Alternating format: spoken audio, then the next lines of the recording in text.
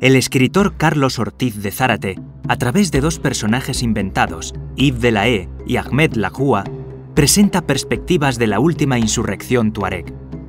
La novela sigue los acontecimientos, con hechos y personajes reales, hasta el otoño, en que se zanja en falso el conflicto con la intervención militar promovida por el presidente Hollande.